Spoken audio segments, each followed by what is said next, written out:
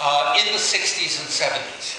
I didn't know that they were going to be mentors or partners as they turned out to be in starting the Media Lab. I was just lucky to have them as friends.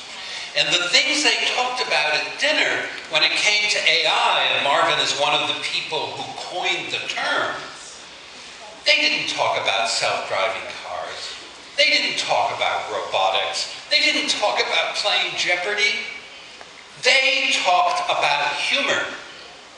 They talked about why do humans appreciate music. They were talking about what I'll call deep AI.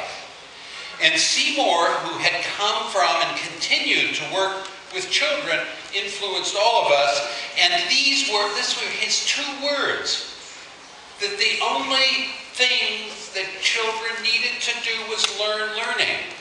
It sounds banal, but he was very fond of saying, you can't think about thinking unless you think about thinking about something.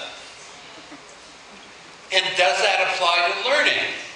Well, maybe it does, maybe it doesn't. But can you learn learning?